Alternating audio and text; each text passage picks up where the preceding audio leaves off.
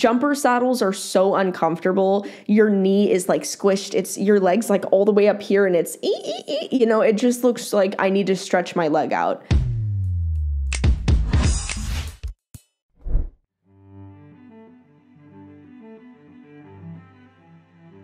Hey, bitch, and welcome back to another Let's Judge Horse Trainers video. Today, we are going to be reacting to the.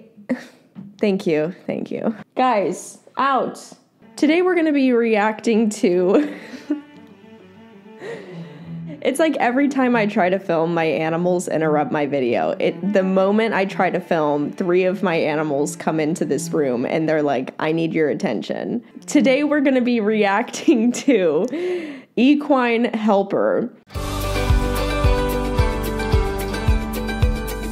This video series is basically a video series that I'm making to try to help you guys differentiate between good and bad trainers and good and bad training advice on YouTube. So that way, when I leave YouTube, you guys know who to follow and who gives legitimate or illegitimate advice. But before we get into today's video, I have to say a huge thank you to this video sponsor, which of course is Animal Nutrition Calculator. I know I talk about them all the time. You guys know I'm a brand brand ambassador for them. I love them. I love their calculators. I love all the work that they do. I've worked so closely with this brand. I really, really, really love this. And I really think they're making such a huge difference.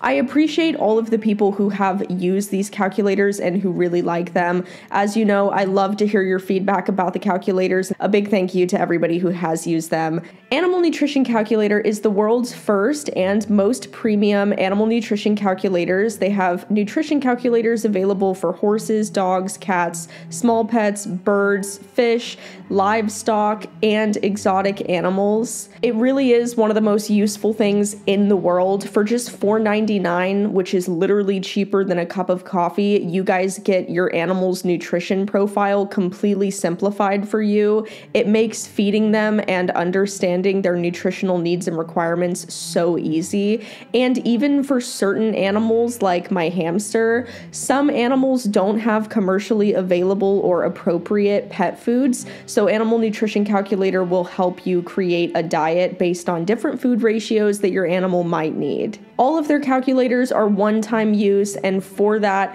you really get all of your animal's nutrition simplified. It is so amazing. It's so much easier than reading hundreds and hundreds of hours worth of veterinary textbooks. I honestly can't rave enough about this brand. You guys know Braylee lost almost 100 pounds on their horse weight loss calculator, and she looks so much better now. So, a big thank you to Animal Nutrition Calculator. Again, literally every single person can use these. It's amazing. You guys can click my link down below and use code LINK25 for 25% off your purchase. I love you. Thanks to Animal Nutrition Calculator. Let's get to it. So, obviously, we always start with the bios. Carmella is a lifelong horseback rider, horse enthusiast, and internet entrepreneur. Her websites have been viewed thousands of times by horse lovers around the world. For whatever reason, some people come out of the womb obsessed with horses. There's no explanation for it. These kids haven't even seen a horse yet, but it's all they can think about. I was one of those people. Although I've loved equines as long as I can remember, my horse story didn't really start until I was seven years old, and my parents agreed to let me take riding lessons at a local stable. I remember my dad saying to my mom, It's just a phase and she'll grow out of it. Boy, was he wrong. I continued taking lessons once a week for four years. I looked forward to my lesson the entire week. Okay, wait, is this like a whole life story? I met two trainers who would change my life and the outlook of my riding ability. They poured their hearts into teaching me about horses and sharing with me all their knowledge. They let me work with other horses to learn and understand more. The majority of training techniques you read about on this website stem from what I've learned from them. In between work and classes, I started watching Heartland. I am dead inside this TV show kicked up the desire in me again to work with horses. Eventually, I decided enough was enough. I had to have a horse. This is how I met my Pony of America pony. I purchased him unbroken, wide eyed, with the idea that he would be a great resell, but that quickly changed. Okay, I will say, I think it's fantastic Let me formulate my opinion really quick. Every single time I hear somebody say, I watched Heartland and it encouraged me to start training horses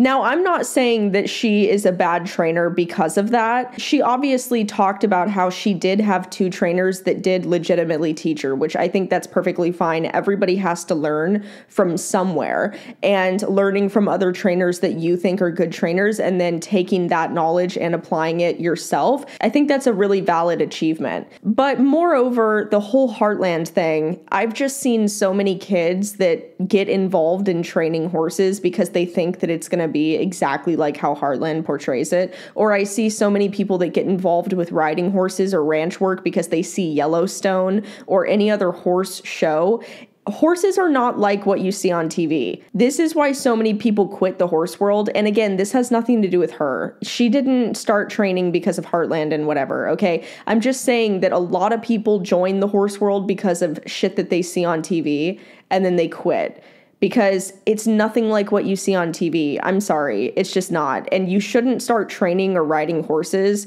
because you see that on TV. Carmella posts a lot of horse education type videos and training videos or helper videos as the name implies, on her Equine Helper YouTube channel. Today, I think we're going to be reacting to one of her most popular videos, and this is called How to Ride a Horse Easy Beginner's Guide. I am going into this with an unbiased opinion, I truly believe that, but I will say the only piece of information that I have gathered about this channel so far before going into this is mostly that she posts beginner friendly videos. Okay, so let's watch. Hey everyone, so I'm getting ready to go out to the barn and I thought that today what I would cover is how to ride a horse. So let's get ready to go. Bye Traco. Bye Traco. So I haven't seen Tucker in two weeks because I've been on vacation. So I'm excited to see him today. Oh, it's cold and muddy. Hi buddy. Hi. Hi buddy. I've missed you. So glad that she keeps her horses on pasture. I totally get it if you don't have access to pasture. I mean, I lived somewhere where there was literally zero pasture options available, which was Southern California, and I lived there for three years. It was so miserable. But I did try to get as much turnout on a daily basis for him as possible. You should always choose pasture when you have the option to, because pasture is so much better for horses mentally, physically, definitely only take advice from trainers who regularly keep their horses in pastures. That should be your first clue that somebody knows what they're doing is just the quality of life that they provide their horses when they're not training or riding them. Unless, like I said, they don't really have an option because there are places in the world where you just don't have the option to keep your horse on pasture. So before I get on my horse, I'm gonna first brush them just to remove any dirt and also make sure they're not sore anywhere and to scratch the scratchies. I'm also gonna just pick out the feet to make sure there's no rocks that can cause him discomfort when he's being ridden. Well, now I'm gonna tack up. I'm gonna put on my saddle and everything I need to ride, and I'm gonna use this lovely new saddle pad I just got. Yeah. So I got my saddle on, and now I'm gonna tighten my girth. So the girth holds your saddle in place, and it kind of is like a belt that it wraps around your horse. All right, and now I'm just gonna put the bridle on, and the bridle is basically to give you some control and help you steer your horse. I get what she's trying to say. And I understand again that this video is for beginners. So this is not a criticism because she's just trying to simplify things. But I will say, I want people to stop thinking of bridles as a means of control because you don't have control over a 1200 pound animal. It doesn't matter if you're using a bridle, a bit, a Muserola noseband, you don't have control over a 1200 pound horse. It's just, it's it's this imaginary fictional thing that people want to believe that they have it's not true. And you should never rely on any piece of equipment for control. Train your horses appropriately, learn how to ride the best that you can, and most importantly, accept that it's okay for stuff to not always go your way. It's okay if there's a day where your horse freaks out and you fall off. It's okay That's just how life is. Life is not all sunshine and roses. You don't always have to have this imaginary idea of control over your horse because it's not there anyway. Don't rely on bridles or bits or any piece of equipment for control because that's not going to happen. And your life is just going to be easier if you just go ahead and accept that now. so trust me, I had to figure that out over probably 10 years. So before you go to get on your horse, you want to make sure you unroll your stirrups and also check your girth to make sure it's tight enough. You want to be able to fit four fingers in your girth. So now it's time to actually get on your horse and you can do this the same way either from a mounting block or from the ground. I use a mounting block because it's easier on their backs. So I'm up on my mounting block now and I'm gonna make sure I'm mounting from the left side of my horse. So when you go to get on your horse, you wanna make sure that you gather your reins up so you still have control. Please don't grab the reins when you get on. That's something that I will say to everyone. I get it. Okay, I, I totally get it that some people fear that their horse is going to walk off or run off or whatever. Please don't grab the reins. Don't make a habit of that. You should teach your horse to stand while mounting. When you grab the reins, not only is that like showing some level of distrust in your horse, you think your horse is going to walk off on you, but also you could potentially, and this is especially for children, pull on the horse's face or give mixed signals by pulling the reins in any which way. I just don't recommend kids learn to grab the reins when they get on because I've seen this so many times, guys. I've seen so many kids go to get on and they grab the reins and then the horse starts backing up or freaking out or walking or doing this and that because the kid's giving mixed signals. First things first is you're going to need to know how to hold your reins correctly. So to hold your reins correctly, what you're going to do is put your rein in between your pinky and your ring finger, and then you can shut your hands around it and then put your thumb on top. So now let's cover riding position. You want to turn your thumbs up towards the sky and you want to look forward and in front of your horse. Next, I'm going to make sure that I'm rolling my shoulders back to help me sit up straight and I'm going to bend my elbows to be at my side. I want to make sure that I'm loose through my thigh and my knee so I'm not gripping. I want to make sure the stirrup is on the ball of my foot, my heels are down, and my foot is right under my hip. So that was a lot we just covered, but most importantly, you just want to make sure you can draw a straight line through your head, down through your hip, and to your heel. And that way you're sitting up tall and you have this linear line through you. So now let's talk about how to move your horse forward so once again, this is in the most simplest terms. And what I'm gonna do is first of all, I wanna make sure I'm not pulling on my horse's mouth with the reins. So I can give with my hands a little bit and get out of their mouth. And then I'm gonna just squeeze with my lower leg to ask my horse to move forward. And there he goes. So if you're pulling on your horse's reins and squeezing, this is what's gonna happen. They're gonna back up instead of going forward. So I wanna make sure I'm giving with my hands to get my horse to go forward. So you can use the same concept to go faster on your horse. So I'll get out of my horse's mouth and squeeze with my lower leg and we can pick up a trot. So you may be wondering how you stop your horse once you've gotten going. So what you can do is sit up nice and tall, put your weight down into your heels, and then close your fingers around your reins and your horse will come to a stop. So I'm going to actually show you what to do at a standstill when it comes to stopping your horse, just because it's very small little nuances. So what you're going to do first is sit up nice and tall, and you can even kind of sit back on your pockets. And so you're closing your hips, and then you also just want to stretch down into your stirrups. I'm so sorry. This looks so uncomfortable to me. Again, it has nothing to do with her. This is just me being nitpicky. I'm so sorry.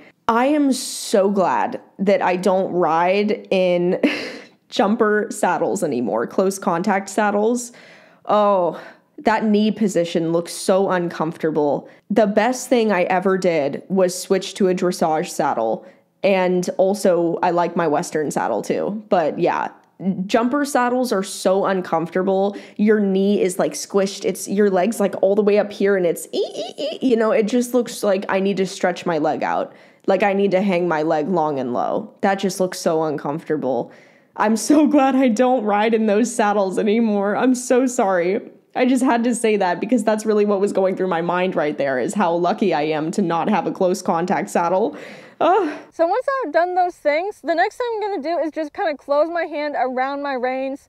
So as I'm riding, my hands may be a little bit more loose. So I can close my fingers, and if that doesn't stop the horse, I can slightly pull back until they halt. So one thing I find super helpful, especially if you're new to horseback riding, is knowing how to do the one rein stop. So the one rein stop is basically the emergency brake for your horse. So if maybe you feel like you're out of control or your horse is taken off, you can do this to get them to stop quickly. So to do the one rein stop, what you're gonna do is reach your hand down one rein, and then you're gonna bring that rein back towards your hip, asking the horse to turn its head towards your knee. So what this does is it keeps the horse from moving forward, and instead, the only thing the horse can do is turn in a tight circle. So let's talk about steering your horse. So there's basically two types of steerings you'll come across. One is plow reining, and that's when you have two hands on the reins, and this is done mostly by English riders. Or you're gonna come across neck reining, which is where you hold the reins with one hand, and you'll see this more with Western riding, or if you go on a trail ride or something like that. So when it comes to using plow reins like an English rider would, how you're gonna steer your horse is you're just gonna open your hand in the direction you wanna go. So if I wanna steer towards you guys, I'm just gonna open this hand and you'll see that his nose tips towards you. And so from there, what I can do is squeeze with my legs to get him to move towards you. And even help him out some more, I can use my opposite leg over here and I can squeeze my lower leg and he'll turn right towards you guys. So if you guys see, I can open my hand and he'll turn this way. Then I can open this other hand and he'll go back this way. And so this is how you're going to use your reins if you're learning English or learning how to do the plow rein. So the other way you're going to steer your horse is through neck reining. So when it comes to neck reining, what I'm going to do is I'll have both reins in one hand. And if I want to steer towards you guys, I'm going to lay my opposite rein against his neck and also use my opposite leg and squeeze with my lower leg to get him to turn towards you.